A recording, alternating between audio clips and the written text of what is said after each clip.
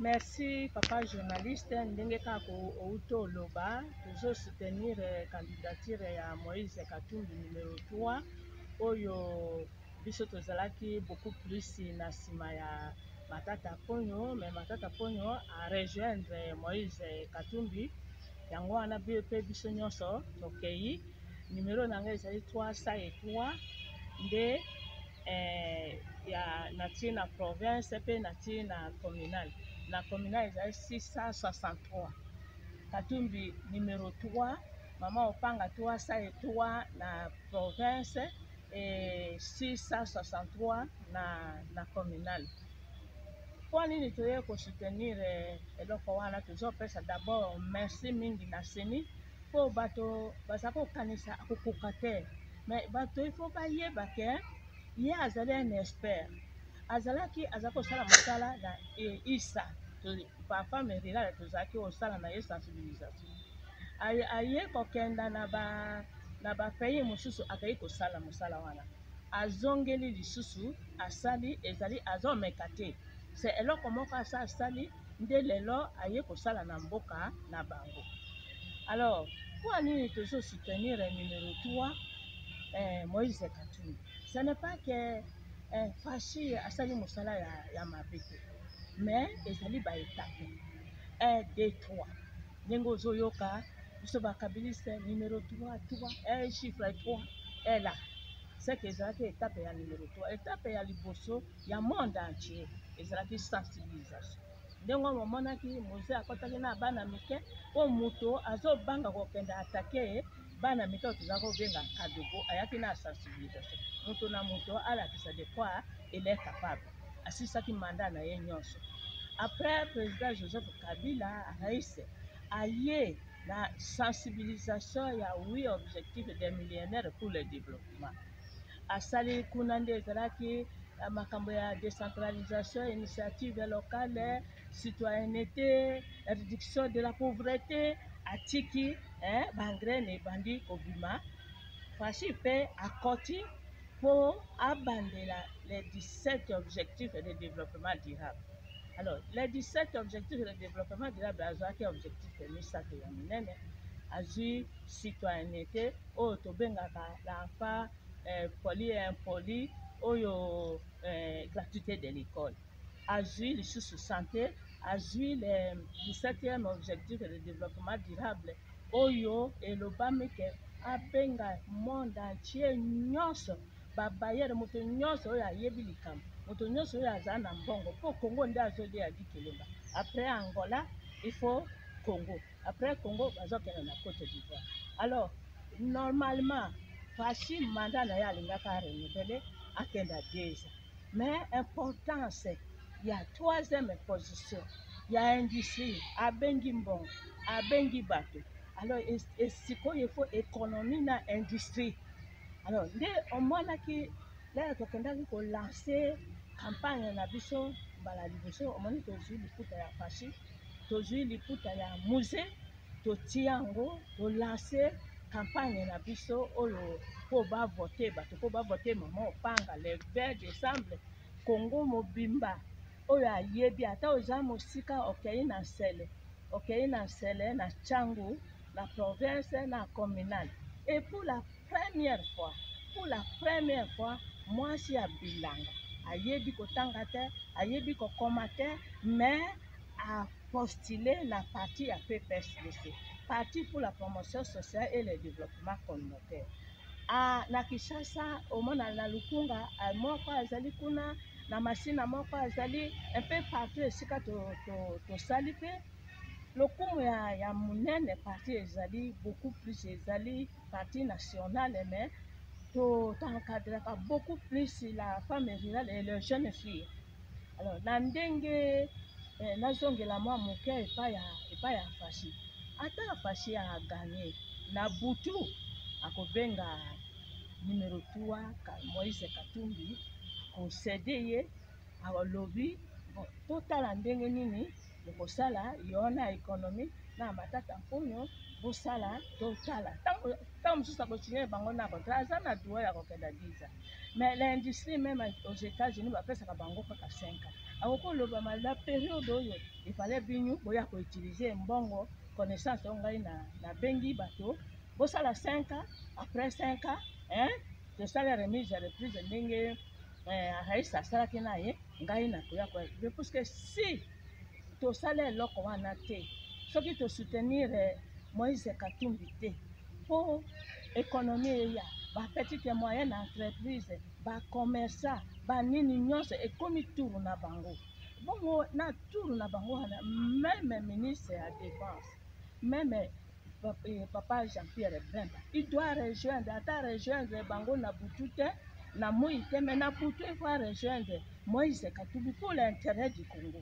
mpo efale tokenda na bato wana tout tozala biso nyonso elongo na 2028 na basensibilisation oyo ata communauté internationale asalaka yo moni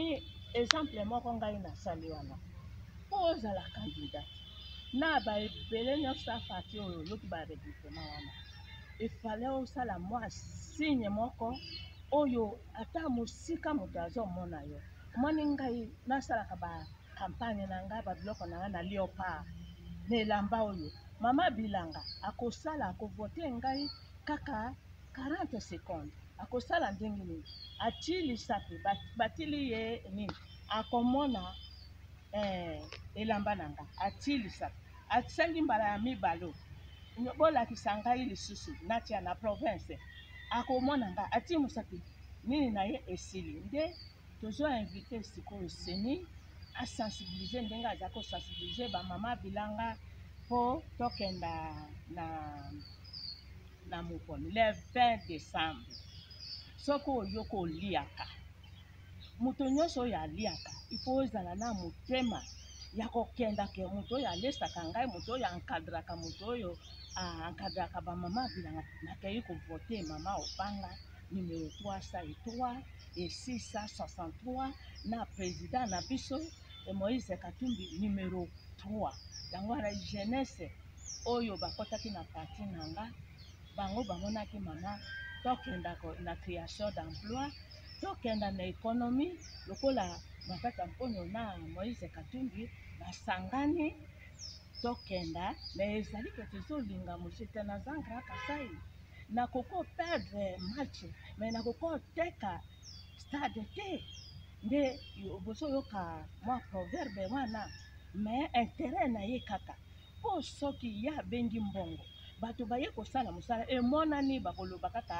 ye moto abengaki monde entier nde bayaki na mbongo, nde bato mosusu baye ko continuer, nde nazopesa nazo feliciter bana Congo nyonso ndenge tozokenda na election locale initiative decentralisation initiative locale ebandaka na base, mais moto oyo ayebi kobandela eloko wana oyo tosalaki na ye ezalaki matata soki tozoloba lelo mama abilanga azali na projet ya autonomisation financière de la femme rurale augmentation de production agricole transformation et commercialisation pour arriver au, dans les chaînes de valeur tu vois c'est que autonomisation financière de la femme rurale wana basi batie première pierre soki batongeli biso eh, sale polipelante batongeli biso hébergema maison sociale bamama bafadi bapesi ngai baconcession na ndenge moko ya kosakana te nyonso ezali na certificat de registrement dede bacréation ya emploi ezali wana mpe ifo aussi soki ngai lelo toyebi tozali bamama bilanga bazali ba babénéficiaire ya maître du monde bainformation nyonso eyaki epai na bango il faut que tu aider lisusu beaucoup plus le diaspora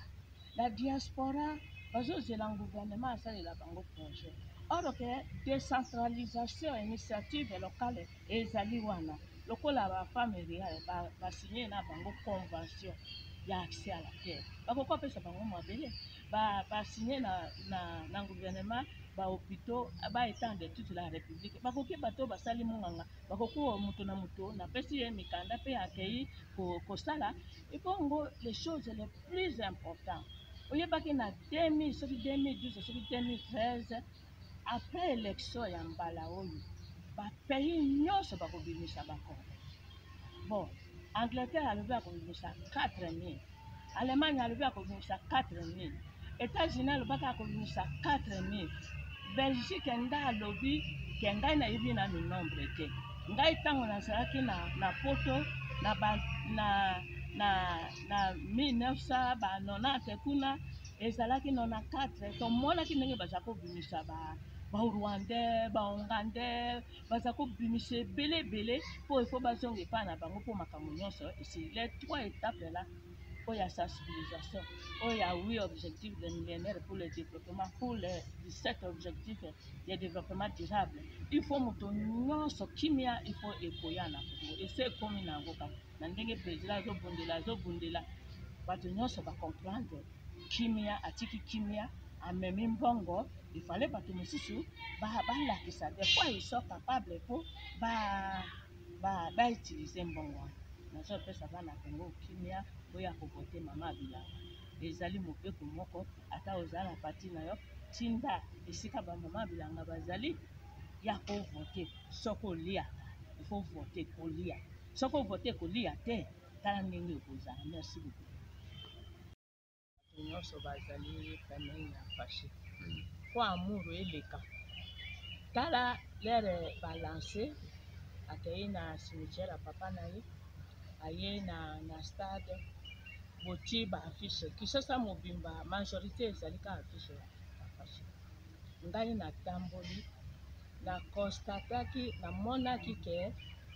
oti foto na ye nsima oti numero na yo me oti numero 20 c'est que eloko esalemaki textuellement epai ya shadari me natambolaki nakendaki na fondation muse nakendaki na biro ya ya, ya mama ntango azalaki kote ya pprd wana natamboli nakei partout partout nakei mpe na entre ya kingakati nazoloba eloko nazomona kuna eza bie te me bato baza komona nete biseki omonaki mpe conséquence oyo eh, shadari azwaki alors bino kaka lere nabandaki koloba nakei na nakei ba esika eh, fashi azalaki ah, binu bango bati banimero na bango natamboli kitambo mobimba nazongi kaka na ndolo nde nayaki omona moto moko atie eh, nini na ye ati mpe nimero na ye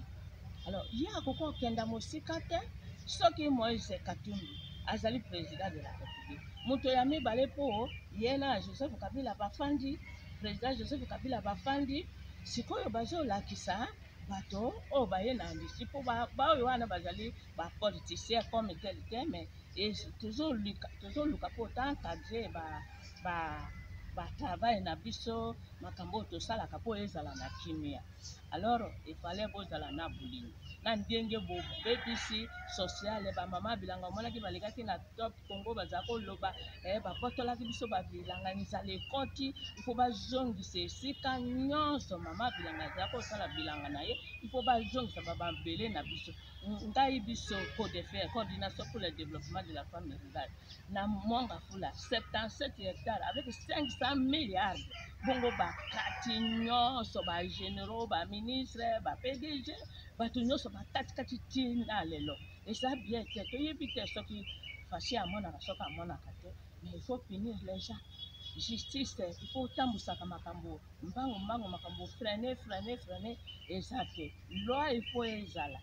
tozosenga loi ke esika bamama bilanga bazosala bilanga na bango justice ata bakei kofunda mama bilanga justice afungola dossier ayamba dossier wana te ebongo basoda soda soda garde républicaine bacapitaine ba, ba, ba major banini nyonso bakopusana ata moke na esika wana te soki leta aye koloba na bango mama e bamama awa eza esika ya ya régie des eaux awa esika ya sinele tokende topesa bino esika mosusu mais loi ifo ebima mpo oyo basali eza yango te tala nzala tala tala fashi pala tala liwa bazomema fashi mpo baya kokondane ye ke ntango akendaki bamama ba bilanga a zero metre na ye bakufa mpo tokomaka chaque jour di di pame bakufaki lelo nzala yo tala na lemba yini 20 ans osali mosala bango kuna mbala kuna pondu kuna masango bongo bobimisi bango boviole bango tokomi me réaction ata moko eza te merci